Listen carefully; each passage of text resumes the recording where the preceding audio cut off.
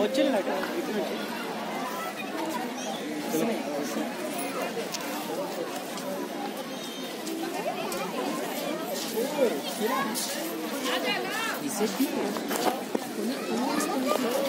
ఇప్పుడు మాట్లాడి ఇప్పుడు వేస్తే ముంగల్ ఇంకా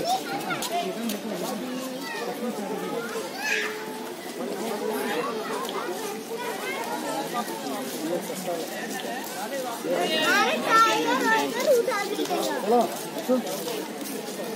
Itu kok sapat.